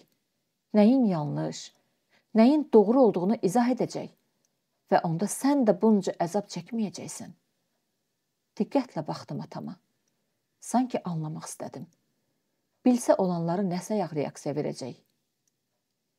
Bilirsən, atacan, ən dəhşətlisi odur ki, özümüz də hər an belə namərdlərin qurbanı ola bilərik, deyə uzaqdan başladım. Atam, bu artıq adamın özündən asılıdır qızım, deyib sustu. Sanki nəyisə duymuş kimi düz gözümün içinə baxdı. Ciddi bir tonla soruşdu. Necə bəyəm? Sözlü adam oxşayırsan. Danış görək nə olub? Tutuldum. Sual doğru dürüst cavab tələb edirdi. Bu günəcən atama bir dəfə də olsun yalan danışmamışdım. Tərəddüd elədim. Deyimmi, deməyimmi? Birdən qorxdum. Çox qorxdum. Özümə görə yox, ona görə qorxdum. Fikirləşdim ki, kimin var mənim yer üzündə atamdan başqa? Və tutalım, lap elə açdım sandığı, tökdüm pambığı. Başqa sözlə, danışdım ona başıma gələnləri. Bəs sonra nə qazanacam mən bu sayaq səmimiyyətin əvəzində? Nə eləsin onda namusu tapdalanmış kişi? Gedib özünü mü öldürsün? Məni mi döysün? Ya bəlkə elə bir dəfəlik namərdi xurtxaşil eləsin? Və bütün olanlardan sonra özündən başqa mən kimə nə sübut edə biləcəm? Qalan ömrümü necə yaşayacağam? Bütün bu fikirlər bir göz qırpımında beynimdə ildırım kimi çaxıb söndü. Dedim: "Heç nə ayata. Yalnız bir şey demək istirdim. Məncə dəhşətli olan o adamlar deyil ki, əclaf, cəllad, riyakardılar. Onlardan namərdlikdən başqa nə gözləmək olar axı? Təhlükəli və qorxulu olan başqalarıdır. Bunu bilib susanlardı. Atam qəmli-qəmli gülümsədi və dedi: "Bir şeyi unutma. Öz uğursuzluqlarına görə heç vaxt heç kəsi qınama. Atamın da özünə aid həqiqəti varmış." Onunla söhbətdən sonra o barədə daha heç kimlə danışmadım. Çoxları kimi əclaflığın qurbanı, eyni zamanda onu örtbasdır edənlərdən biri oldum. 1 dekabr 1960 Ay Allah. İnsanların məsləhət verməkdən ötürü necə də ürəkləri gedir. Və həmin məsləhətlərində nə qədər riyakarlıq, ikiyüzlülük, yalan sezilir. Mənə heç kəs lazım deyil. Tək və tənha qalmaq istəyirəm. İstəyirəm hamı məndən əl çəksin. Axı nəyimə lazımdır kiminsə dostluğu? Bəyəm aydın deyil ki, sevgi ilə müqayisədə dostluğun heç bir dadı yoxdur. Aprel 1961. Ata, atacan, bağışla məni. Bağışla əzizim, canım, özüm. Bilsəydim ki, bu dünyada sənsiz mənə necə çətindir və indi özümü necə də tənha, yalqız və pərişan hiss eləyirəm. Bilsəydin ki, qəhər boğazıma necə boğur. Özümsə az qalıram küçəyə çıxıb bağıram ki, ay insanlar, mənə yaxşı-yaxşı baxın. Mən yer üzündə ən vəfasız, üzü dönük və nanəcib övladam. Bağışla məni atacan. Bağışla ki, sənə yaxşı qız ola bilmədim. Ayağının altında yıxılıb qalmalı olduğum vaxt heç yanına belə gəlmədim. Axı nə üçün həyat bu qədər amansızdır? Nə üçün insanlar yaxınlarının qədrini, onları nə qədər çox istədiklərini yalnız onları itirəndən sonra dərk edirlər. Axı hər bir ağlı kəsən adam bilir ki, həyat ötəridir. Ölüm isə budur, e. Gözlə qaş arasındadır. Biz hər saniyə, hər an ən yaxın, ən əziz insanımızı həmişəlik itirə bilərik. Onlara ən vacib, ən əsas sözlərimizi demədən etiraflarımızı etmədən belə. İndi düşünürəm. Atama neçə-neçə deyilməyən sözüm, ona qarşı hiss etdiyim, amma özünə söyləmədiyim neçə-neçə mərhəm duyğum var idi. Elə indi də var. Bəs nədən bütün bunları mən ona vaxtında demədim? Nə üçün indi boynumda daş kimi sallanıb qalan, atama isə bəlkə də hər şeydən çox lazım olan ən mərhəm hisslərimi aşkarlamadım. Çəkindim. Onları ət tökən sentimentallığın artıq nişanələri bildim. Atamdan mı utandım? Özümə mi sıxışdırmadım? Amma o yəqin bunları gözləyirdi. Bəlkə də heç özü də sonacan dərk etmədən arzulayırdı. Axı insan xasiyyətindən, vərdişlərindən, başqalarına münasibətindən asılı olmayaraq övladının diqqətinə, nəvazişinə, bircə dənə quru necəsən? Bəlkə sənə nəsə lazımdır sualına ehtiyac duyur. Özümə necə də nifrət eləyirəm. Atacan, ölümündən düz bir il keçir. Bu dünyada həqiqətən də tək qalmışam. İyun 1961 Bu səhər evimdə bir neçə gün məskunlaşan Mayagili nəhayət ki küçəyə qovdum. Doğrusu əllərindən çoxdandır ki cəzana gəlmişdim. Üstəlik imtahanlara ciddi hazırlaşmalıydım. Kirayənişinlərim isə səhərdən axşamacan ya dalaşır, ya da barışıb qucaqlaşırdılar. Təbii ki, belə şəraitdə nə dərsə, nə də imtahana əməlli hazırlaşa bilirdim. Əslində Mayya ürəkdən yazdığım gəlirdi. Çünki o atası evindən sevdiyi oğlana görə qaçmışdı. Yaşamağa yerləri olmadığından onlara bir müddət bizdə qalmağa təklif etmişdim və bununla da başımı yaman cəncələ salmışdım. Əlbəttə, problem Mayada deyildi. Onu uşaqlıqdan tanıyırdım və qəribəliklərini bilirdim. Dostluğumuz boyu Maya ilə demək olar ki, küsüşməmişdik. Çünki hər ikimiz başqasının xasiyyətinə bələd idik. Əsas problem Mayanın sevgilisi Rufikdə idi. Məsələ onda idi ki, Rufik əməlli başlı zırrama idi. Tərbiyəsiz, yerini, danışığını bilməyən. Bir sözlə, formenli dəli. Onunla tanış olduğum ilk gündən Mayanın seçiminə təəccüblənməkdən başqa çarəm qalmamışdı.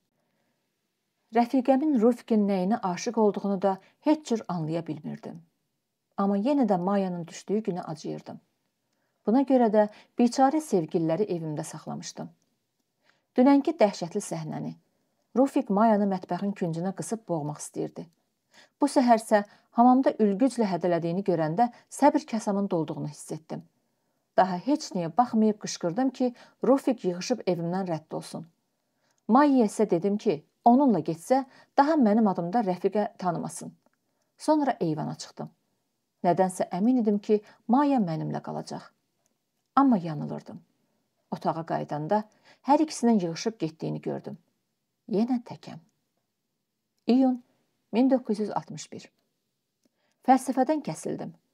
Biletimə düşən Marksizm-Leninizm fəlsəfəsinin təməl müddəalarını və onların tətbiqinin əsas prinsipləri sualının cavabını nə qədər xatırlasam da yadıma sala bilmədim. Doğrusu məni ən çox yandıran o oldu ki, bu sualın cavabını şeir kimi əzbərləmişdim. Hətta bunu imtahan götürən müəllimə də dedim. Gözləri ilə boyumu ölçüb sakitcə cavab verdi ki, qızım, şeiri əzbərləmək olar, amma prinsipləri yox. Prinsiplər insanın qanına, canına işləməlidir. Get bala, sonra gələrsən. Budur. Yayın istisində sərin narzan əvəzinə Marksizm-Leninizm prinsiplərini canıma, qanıma yeridirəm. İyun 1961. Atam tez-tez deyərdi: Olub keçənlərə görə heyfsilənmə. Həmişə və hər şeyə görə yalnız Allaha şükür elə. Eləyirəm, atacan. Avqust 1961. Nə qəribə, müthiş yuxu idi bu gecə gördüyüm. Vallah bir roman mövzusu, film ssenarisi ola bilərdi. Özü də təsir gücünə görə Leyli Məcnundan, Romeo Juliettadan heç də geri qalmayan bir əsər olardı. Hmm. Hələ də özümə gələ bilmirəm. Kəsəsi Görürəm ki, yaraşıqlı oğlanla gözəl bir qız oturublar bir kinokamera qarşısında. Onlar sevgililərdir. Həm də çəkilən filmin aktyorlarıdır. Amma bu filmdə onlar rol yox, özlərini oynayırlar. Və filmdə nə baş verirsə, doğrudan doğruya cərəyan edir. Filmin özü də bədii yox, sənədlidir və qəhrəmanların gerçək həyatından bəhs edir. Mən tamaşaçıyam və filmə sonradan baxmağa qoşulmuşam. Demə məndən əvvəl bu oğlanla qızı minlərlə tamaşaçı tanıyır, sevir, onlara qibtə edir. Bu gənclərin gündəlik həyatı milyonlarla adamın gözü qabağında yaşanılır. İndi də cavanlar süjetə görə maşınla uzaq yola çıxmalıdılar. Və onlarla bərabər üçüncü bir personaj. Oğlanın qoca nənəsi də yola düşür. Əvvəlcədən məlumdur ki, səfər vaxtı maşın qəzaya düşəcək və bu qəzada 2 nəfər həlak olacaq. Amma onların kim olduğu hələ məlum deyil. Bircə o aydındır ki, nənə və cavanlardan biri ölməlidir. Çünki sujet bitməlidir. Tamaşaçılar təşviş içindədirlər. Axı seçim onlardan asılıdır. Həm qızı, həm də oğlanı istəyən, onları birini o birisindən ayrı təsəvvür edə bilməyən 10 minlərlə adam var. Bəs nə eləməli? Görəsən mümkündürmü ki, cavanlardan heç biri ölməsin? Bəlkə ssenarini dəyişmək olar. Ya bəlkə yox. Olmaz. Süjet dəyişilməyəcək. Haradansa kəskin bir səs eşidilir. Təbii ki, qoca nənənin ölümü müzakirə olunmur. Qəzadan yalnız bir nəfər sağ çıxmalıdır. Məsələ yalnız kimin sağ qalmasındadır. Mənim ağlıma dərhal bir fikir gəlir. Bəlkə qəza qaçılmazdırsa və bu dəhşətli yol əhvalatında mütləq 2 nəfər canını Allaha tapşırmalıdırsa, bunlar elə həmin o iki cavan olsun. Doğrudan da çıxış yolu bu deyilmi? Hər ikisi ölsə, başqa bir aləmdə görüşəcək və tək qalmaq işgəncəsindən qurtulacaq. Bəli, Ən dahiyənə həll elə budur. Fikrimi söyləmək istəyirəm, amma bacarmıram. Çünki zəng çalınır. Bu dilnikdir. Yanıb yaxılıram. Axı yuxumdakı süjetə müdaxilə etmək istəyirdim. Görəsən mənsiz o necə davam edəcək? Kim seçiləcək? Sonda kim sağ qalacaq? Amma artıq oyanmışam. Həyata qayıtmışam və instituta getməliyəm. İnstitutda heç yerə yox olmayan, qala kimi tükənməz məhəbbətim məni gözləyir. Sentyabr 1961 Deyirlər, insanın ən qəddar düşməni onun vicdanıdır. Razıyam. Amma insanın ən amansız düşməni həm də onun xatirələridir. Mənim üçün ən dəhşətli şey xatirələrlə vicdanın vəhdətidir. Bu ikisi birləşib üstümə gələndə az qalıram özümü öldürəm. Görünür mənə ümumiyyətlə tək qalmaq olmaz.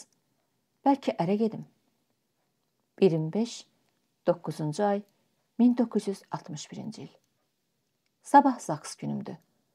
Ərə getdiyim adamın adı Manafdır. Bəs familiyası nədir? Gərək ki, yox, yadıma sala bilmirəm. Nəyimə lazım? Sabah öyrənərəm də. Əslində Manaf pis adama oxşamır. Universitetimizdə tarix kafedrasının laborantıdır. Bir dəfə bizə mühasirə oxuyub. Gəlməyən müəllimi əvəz eləyib. Həmin gün qrupumuzun uşaqlarının yazıq Manafın başına açmadıkları oyun qalmadı. Mən özüm qızlarla mərcə girib Manafı hipnoz elədim. Gözümü qırpmadan ona baxır. Hər sözündən sonra başımı tərpədirdim. Yəni görək, dünyada nələr baş verir. Dediyinə görə dərdimdən həmin gündən ölüb gedir. Deyir o 2 saatda gözlərində elə müthiş şeylər oxudum ki, daha bundan sonra rahat yata bilmədim. Kim bilir? Bəlkə də elədi. Onda dedim ki, öz başımın yerində olmadığını bilirdim. İndi sənin də dəli olduğuna tam əmin oldum. Bəzən deyir, mənə getməsən özümü asaram. Bir gün o qədər baş beynim apardı ki, axır dedim, bilirsən nə var? Bax, aç qulağını eşit. Səndən əvvəl mənim adamım olub. Özü də onunla əməlli başlı yaxın olmuşam. Fikirləşdim ki, bəlkə bundan sonra məndən əl çəkər. Amma yox. Ağappaq ağardı. Qulaqlarını tutdu. Üzünü örtdü. Bir müddət donub qaldı. Sonra çıxıb getdi. Düşündüm ki, yəqin bir yolluq gedib. Hətta onun üçün bir balaca darxan kimi də oldum. Amma 3 gündən sonra gəldi və bəyan elədi ki, bəs ölüb qurtarmışam. Nə gündə idi? Aman Allah. Ordu orduna yapışmış. Gözləri çuxura düşmüşdü. Dedi ki, mənə heç nəyin dəxli yoxdur. Səni olduğun kimi alıram. Patondan. Fədakarlığa bir bax. Elə bir Brakovanı mal alır. Az qala ürəyim bulandı. Sonra dedi ki, elə bu gün gedək Zaksa. Dedim, xeyr ha. Əvvəlcə şərtimi bil. Birincisi, heç vaxt o adam haqqında məndən soruşmayacaqsan. İkincisi, onunla aramızda olanları heç vaxt üzümə vurmayacaqsan. Üçüncüsü də ki, doğrusu özüm də bilmirdim ki, üçüncüsü nə olacaq. Birdən üzünü gördüm. Sifəti bir gündə idi ki, sözüm yarımçıq qaldı. Dedim, yaxşı. Hələlik bu qədər. Susmuşdu. Bir müddət heç tərpənmədi də. Sonra razılaşdı. Daha bu barədə danışmadıq. Bax belə. Manafat çarəsizlikdən getmirəm. Heç özüm də bilmirəm ki, niyə gedirəm. Bəlkə qorxudan, ya darıxmaqdan, bəlkə də təklikdən canımı qurtarmaq istəyirəm. Bir də ki, axı sujet davam etməlidir. Lap biabırçılıqdır. Toyuma geyinməyə paltarım yoxdur. Toy günümün səhəri. Əslində bir çox qadınlar sevmirlər. Sevdiklərini düşünür. Bu barədə özlərində müəyyən illüziya yaradırlar. Bu özünü aldatmaqdan başqa bir şey deyil. Yalnız qadın üçün təbii olan sevilmək istəyindən, kiminsə səndən ötürü dəli divanə gəzdiyini bilib bundan doğan məmnunluqdan irəli gəlir. Təəssüf ki, əsl məhəbbət başqa cür olur. Toy günümün gecəsi. Görəsən məndən başqa yer üzündə toy gecəsi gündəlik yazan ikinci gəlin tapılarmı? Yazıq manav. Mənə rast gəlib o da bədbəxt oldu. İndi bir gözü gülür, o birisi ağlayır. Gəlsənə deyim ona ki, o adam nişanlım olub. Toyumuza 2 həftə qalmış maşın qəzasına düşüb ya da dənizdə batıb. Bəlkə onda biraz özünə gələr. Nə biçim qadınam mən belə? Özümdən lap zəhləm gedir. Axı biçarə manaf neyləsin ki, təxminə belədir. Təxminə. Tənha minə. Noyabr 1961-ci il. Ərim səyahəti çox sevir. Deyir səyahətlərə maraq xasiyyətimdən irəli gəlir. Tarixçi ixtisasını da buna görə seçmişəm. Həmişə arzulamışam ki, tarixini öyrəndiyim ölkələri öz gözlərimlə görüm. Odur ki, bir yerdə qərar tuta bilmirəm. Kafedrada oturduqca elə bir paslanıram, kif atıram. Manafı anlayıram. Çünki özüm də müxtəlif ölkələri görməyə həmişə həvəsli olmuşam. Manav deyir ki, xaricə getməyə imkanımız olanda mütləq Aralıq dənizi ilə kruizə çıxacağıq. Hələlik isə əlimiz ayağımız çatan yerlərə səyahət edək. Noyabr bayramlarında Şuşaya getdik. Yolda Şamaxıda dayandıq. Pirquluya qalxdıq. Bir xeyli gəzib dağ havası tutduq. Sonra Göyçaya gəldik. Bazarından xurma, nar aldıq. Çərəkə gölündəki kafedə balıq kababı yeyib Şuşaya yola düzəldik. Axşam çağı Manafın Şuşadakı qohumları gilə yorğun arğın çatdıq. Evlərində gecələdik. Çox nəcib və istiqanlı insandılar. Bizi elə mehriban qarşılayıb o qədər hörmət elədilər ki, daha ömür boyu xəcalətlərindən çıxa bilməyəcəyik.